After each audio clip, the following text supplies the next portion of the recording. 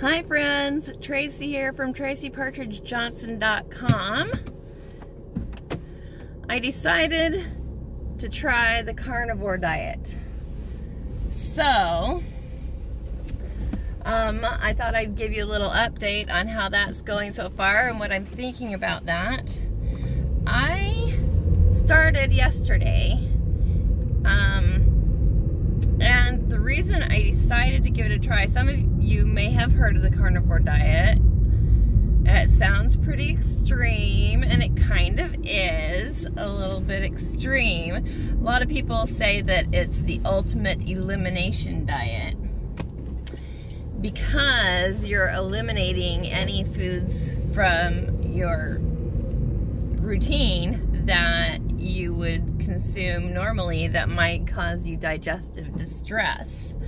And that's part of the reason that I'm doing this is because, so a little backstory, those of you who followed me know that I have, um, I have really kind of toyed back and forth between whole food plant-based and keto, low carb, um, mostly for um, weight loss purposes, but also for health and longevity.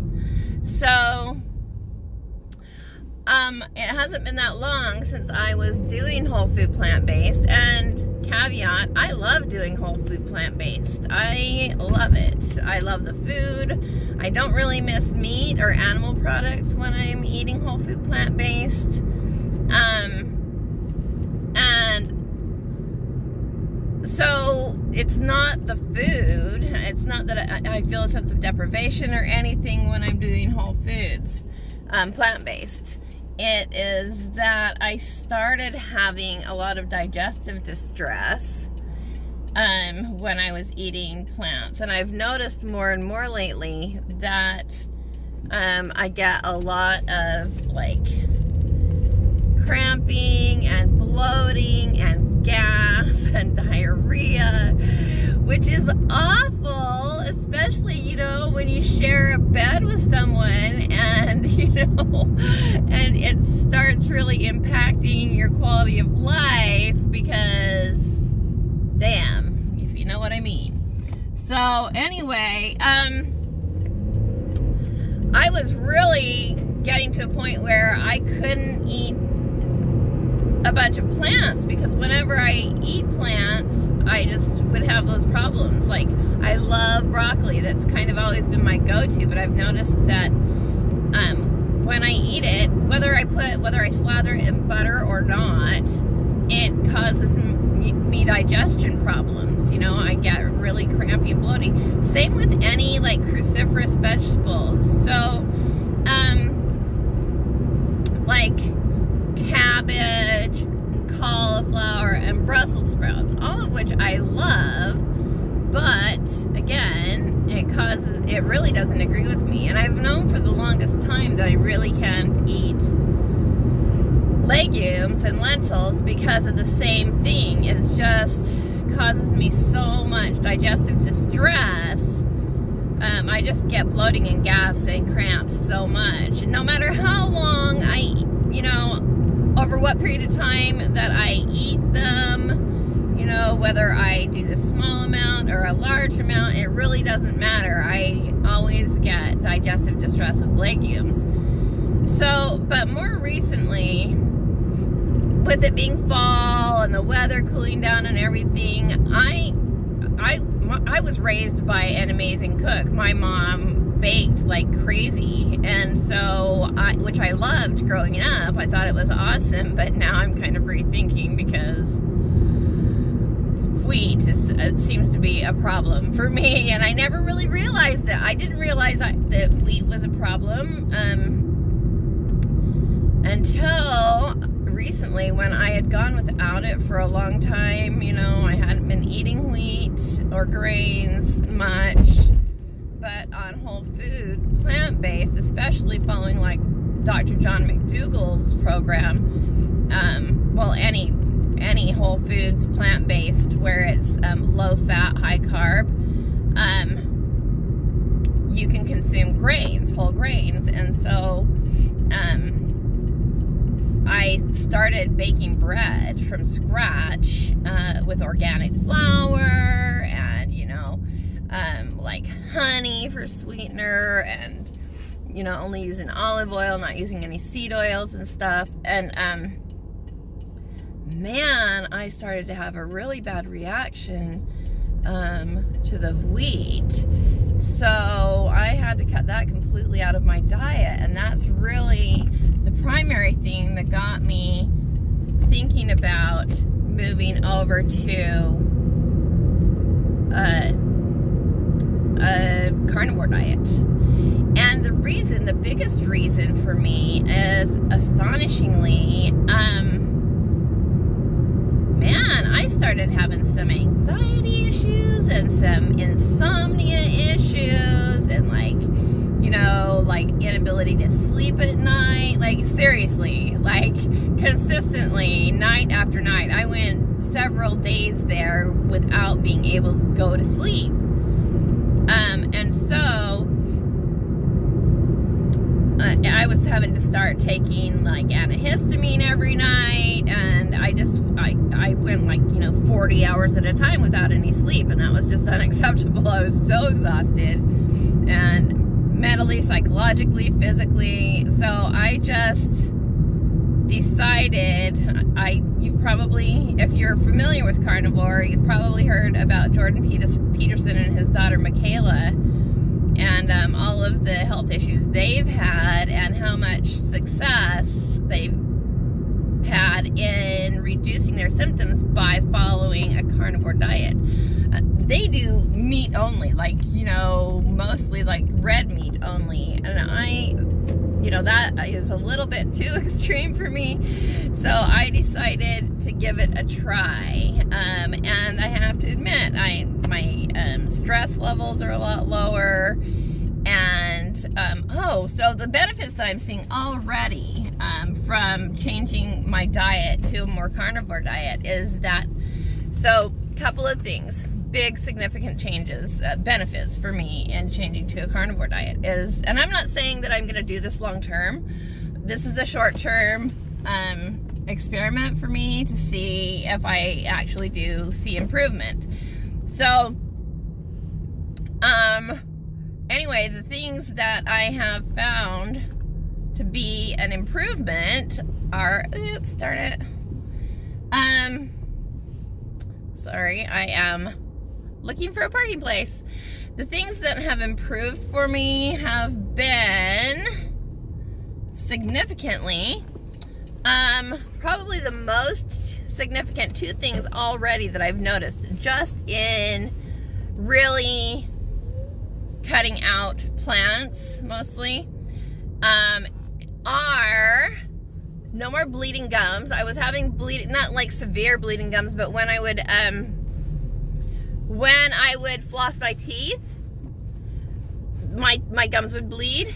And then the other thing is that I have had this rash on my feet that has been really um, troublesome and worrying for me. And um, it's gone. It's just gone ever since, just in the last few days since I've been eliminating um, plants from my diet and focusing mostly on animal products. So here's the thing. I have always been lactose intolerant. Like I, it's, it's not severe, but I get clogged up and I have like a perpetual sniff. Like I'm always sniffing um, because my sinuses are always dripping and you're clogged and everything. So it's just like, this has been something that I've noticed over the last several months is that I'm just, I sniff all the time like that, see? Um, so anyway, um, and that still is present. That hasn't gone away yet. But here's the thing. I decided to go ahead and eat cheese. So I'm not having dairy. I was having some dairy. Like heavy cream. I was putting heavy cream in my coffee, which coffee is the one thing that's plant-based that I'm still allowing myself that um, everybody who I've listened to that's carnivore has coffee. So, um, so I was putting heavy cream in my coffee, but that was the only thing, except for the other day, I went, I had gone without any dairy for quite a while, and a couple of days ago, probably three days ago now, I put, um, I had three slices of cheddar cheese. And when I say slices, I mean I bought the pre-packaged pre-sliced um, cheddar cheese. And it's good quality cheddar cheese. It's Tillamook. Um, and I put that on hamburger patties for my evening meal. And immediately I could tell that it was not agreeing with me. Like I started feeling crampy and cloggy and just really feeling crappy. So I that was a great experiment because I found out nope, you know, I'm not going to do dairy. Dairy does not agree with me.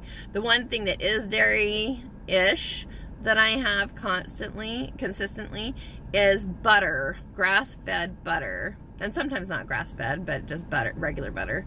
But um that seems to be fine. And so I have butter coffee. I'll blend butter into my coffee in a high-speed blender. And I also still allow myself some MCT oil or some coconut oil.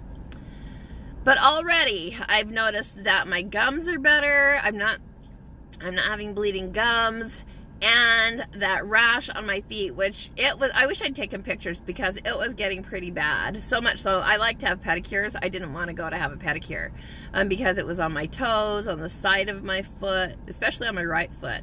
And um, it was making like my skin peel and stuff because it was so rashy and bumpy. It was it was pretty bad. Um, it didn't really hurt or bother me um, as far as like the way it felt. Um, it didn't really bother me, which is kind of astonishing because it was kind of red and and thickish, rashy. And it wasn't all over the whole foot. It was just splotchy. Um, but it's gone now. So I was just like, wow, that is so cool that that is gone already. And my gums are not bleeding anymore. So those are two things. And also the other, another thing, this is a big thing some um I had a little bit of breakout right here on my chin which what on my cheek which um I rarely get but it was staying constant. But my um my my spots my age spots are starting to, to fade. I'm not kidding. It's not like placebo placebo effect or anything. It's seriously starting to fade. So anyway um those are my improvements that I'm seeing already. Eliminating plants from my diet. So I'm Scandinavian. I'm I'm Swedish on my mom's side, and um, her mom was born in Stockholm, and uh, the first one to emigrate to this country. And her uh, and on my dad's side, he's all British and everything. So I'm definitely Northern European through and through. And the thing I figured out is about plants is that my DNA was not formed on tropical plants, you know. There there are no bananas or mangoes or grapefruit or oranges or limes or lemons or you know, any number of those kind of foods in the environment where my ancestors um, come from and where my DNA was formed. So I don't know about that whole blood um, blood type diet thing, but it does make a lot of sense to me that I my body would thrive or do best on the foods that my DNA was formed with, formed on. So anyway, that seems to be holding true. I, I, and I think that, you know, they're based on your DNA and, and your ancestry and stuff, your, um, your heritage, there are probably people that do do better on, you know, foods that, you know, tropical foods if their ancestors come from that part of the world. And, you know, those who do better on protein and less plants. And so, so anyway, it seems to be proving true in my life so far already anyway. I, I'm definitely doing better um, as far as, you know, symptoms that I was having are concerned. So I'm still like having a challenge with sleeping, but I am sleeping anyway. The, the anxiety and stress is kind of diminished a little bit. It's not as bad as it was like last week or so. So that's all good. and you know, any concerns that um, people might have over like heart health and diabetes and everything else, low carb is like really good, proven. Like there's so much data documenting that reducing insulin um, helps with diabetes for sure. Um, heart disease, I don't know for sure, but the one the one thing that re does reassure me is I'm seeing the positive benefits on the outside, you know, well, in my gums, that's on the inside, and on my feet and stuff, and my skin. So if my exterior of my body is showing visible signs of benefit, then I have to believe that my internal organs are also benefit, benefiting. That's just, you know, I'm just deductive thinking, right? I'm just since I have no other, nothing else to go on, I haven't had blood tests done for quite a while. I probably should go and have blood tests done. But a doctor is going to freak out because my cholesterol is probably going to be high but um, on this kind of diet. But there is a lot of um, conflicting information about that too.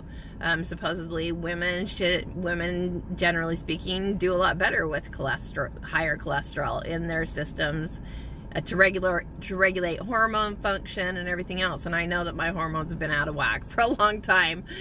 So I'm not going to worry too much about that. I'm uh, as long as I'm feeling better and I'm seeing positive results in my body, then I'm going to keep doing this. Um, it does get a little bit monotonous, the food, but I will save that for another video and I'm just gonna go for now and run in. I'm, I've got to go in and get some more meat because I'm out of meat. So I'm at the grocery store getting ready to go in and shop. That's one thing that does um, get really simplified is shopping. You know you're not buying a whole bunch of stuff. You're just buying animal products. So I'll try and share more uh, um, with pictures of what I'm eating. I did take a picture of um, my main meal yesterday and I'll try to um, include that in a video at some point in time. But anyhow, um, that's all for now. Um, I just wanted to let you know that I'm starting this um, carnivore challenge and I'm not exactly sure how long I'm going to do it. It really depends on how I feel. But today is day two. It's 1.18 in the afternoon. I haven't had anything to eat yet today. I've only had a little bit of butter, co butter coffee. So, um, anyhow, that's where I'm at with all of that. So I will keep you posted on my experience and we'll see how long this lasts. Until next time, thanks for uh, thanks for watching and if you haven't subscribed and you like this content, please do subscribe and hit the, you know, the little notification bell so you know whenever I do upload new content. Um, which right now isn't very consistently or very frequent, but I'll try to do better. Until next time, take good care. This is Tracy Partridge Johnson signing off.